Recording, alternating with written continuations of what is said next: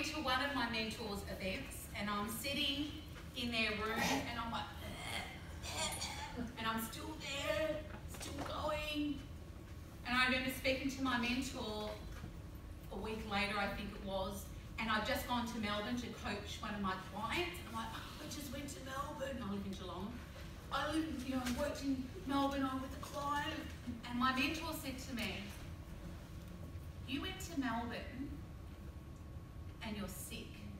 You were seeing a client, and you were sick." And I'm like, "Yeah, like it was a badge of honor. Mm-hmm.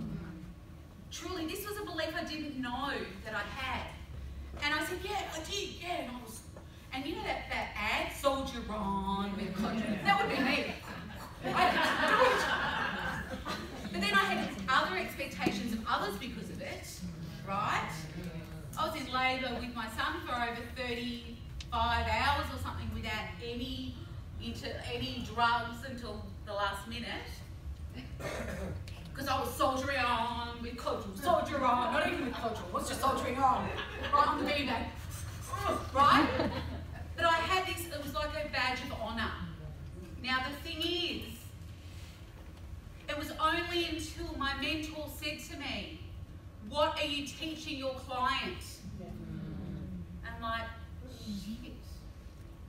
Do you expect them to go to a client and coach them when you're really sick? Is that your expectation? No. I wouldn't want them to do that. Then what are you showing them? It was only then that all those times in my past of me just soldiering on, not going to the doctor, that I thought, shit, I'm running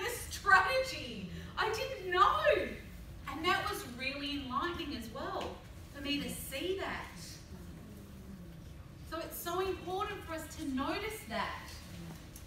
That so we're running strategies all the time. We have strategies around money.